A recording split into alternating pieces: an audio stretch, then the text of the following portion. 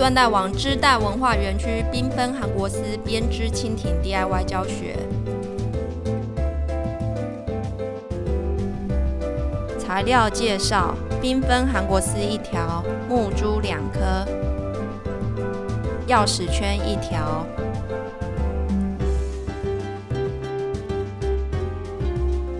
使用工具：剪刀、尖嘴钳以及打火机。步骤一：首先取出缤纷韩国丝与木珠两颗，将两颗木珠分别穿过韩国丝的两端。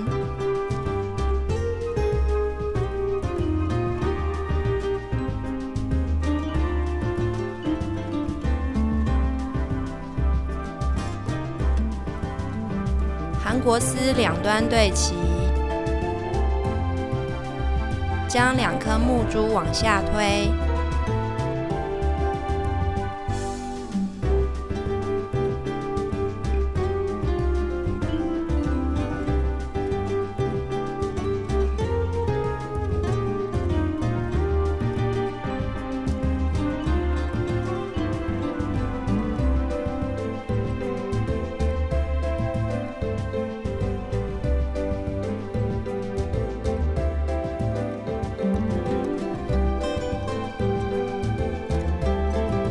至约小拇指长度的位置上，两颗木珠对齐，将左边的线从蜻蜓下下方绕至右边，右边的线从蜻蜓上面穿过左边的圆。再来一定要拉紧，稍微整理一下。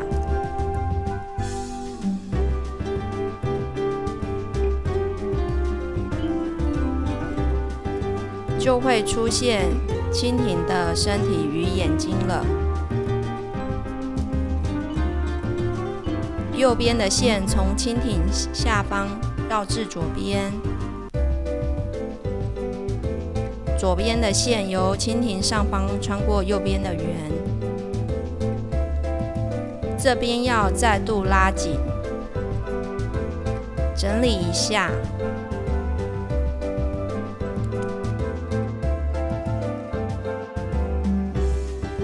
步骤二：左边的线由蜻蜓下方绕至右边，取一个圆，按住，拉出蜻蜓左边的翅膀；右边的线由蜻蜓上方穿过左边的圆，取一个圆，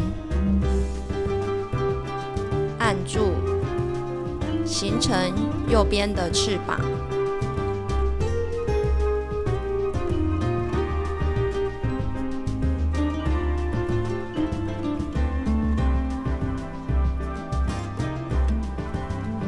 右边的线由蜻蜓下方绕至左边，取一个较小的圆，按住。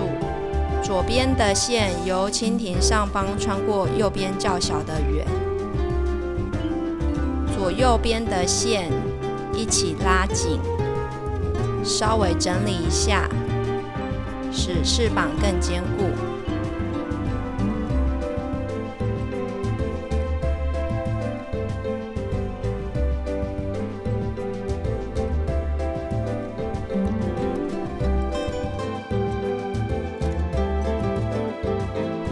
骤三：将左边的线由蜻蜓下方绕至右边，取一个圆，按住。右边的线由蜻蜓上方穿过左边的小圆，取一个圆，按住，稍微整理一下。右边的线由蜻蜓下方绕至左边，取一个小圆，按住。左边的线由蜻蜓上方穿过小圆。左右边的线拉紧，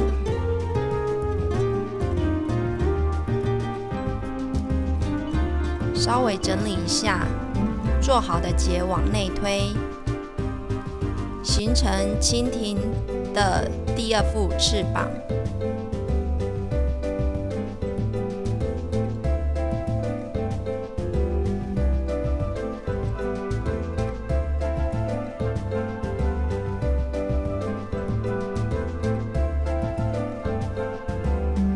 完成后，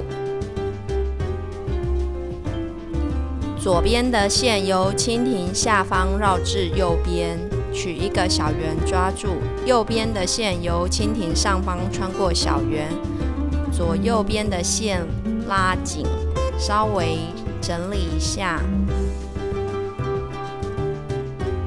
做好的结一样往内推，右边的线由蜻蜓下方绕至左边，取一个小圆抓住；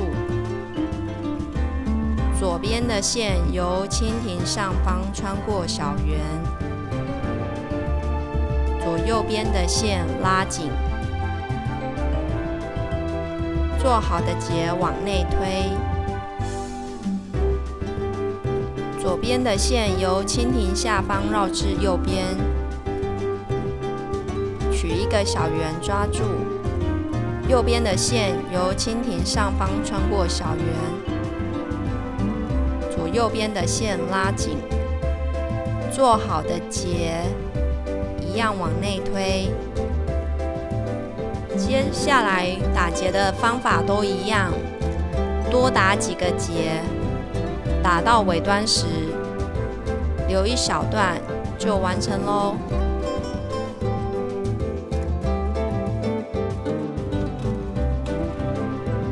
后步骤，使用剪刀将蜻蜓尾端多余部分剪掉，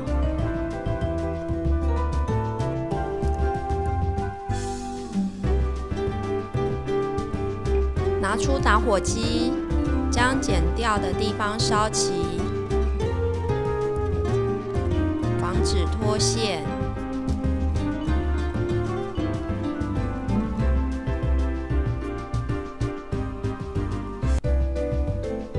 出钥匙圈，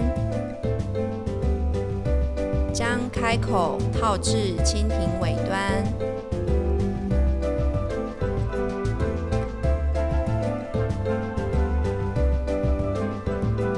使用尖嘴钳将